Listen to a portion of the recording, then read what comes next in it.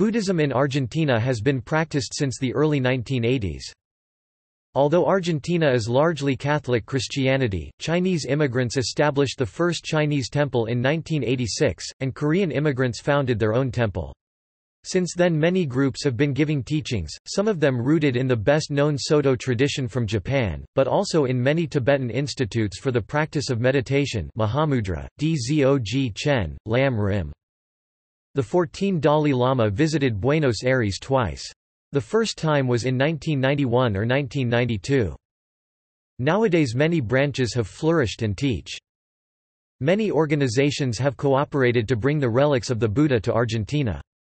This event was supported by the Royal Embassy of Thailand in Buenos Aires.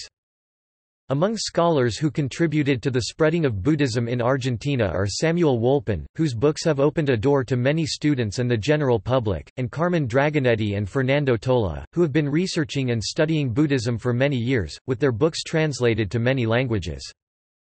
Teachers who have visited the country include Pu Xian, founder of the Tzong Kuan Temple, Mak Sunam, responsible for spreading of Korean Buddhism in the early 21st century, Chogyal Namkhai Norbu, founder of the international Dzog Chen community who transmitted Dzog Chen teachings here, and Lama Nawang Sharab Dorje, who visited Argentina many times.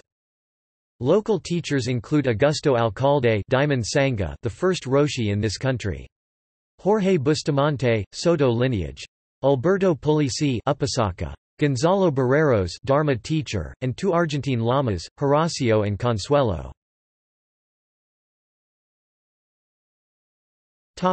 See also Asian Argentine References Buddhist channel His Holiness concludes his Argentina visit. Summary of religious bodies in Argentina. 1 2 3